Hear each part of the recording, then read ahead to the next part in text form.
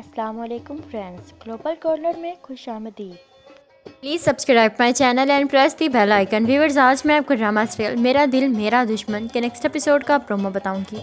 Next episode के promo में दिखाया जाता है एमन के ससुराल वाले दोबारा से आ जाते हैं और कहते हैं कि हम चाहते हैं कि शादी उसी तारीख को हो जिस दिन पर हमने फाइनल की थी।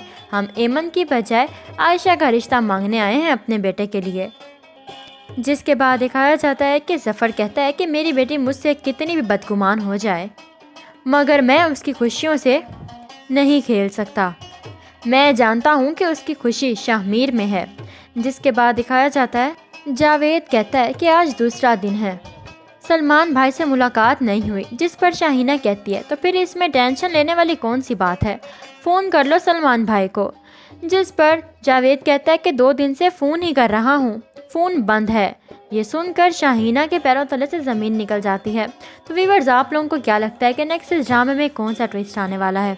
जब शाहीना को पता चलेगा कि जिस तरह उसने फ्रॉड से पैसे हथियाए हैं, इसी तरह उससे भी कोई फ्रॉड करके पैसे ले उड़ा है। तब उसका क्या होगा? अपनी कीमती राय का इजहार कमेंट सेक्शन में ज़रूर कीजिएगा। हमारी वीडियो पसंद आए तो लाइक करें और हमारे चैनल को सब्सक्राइब करें। Thank you.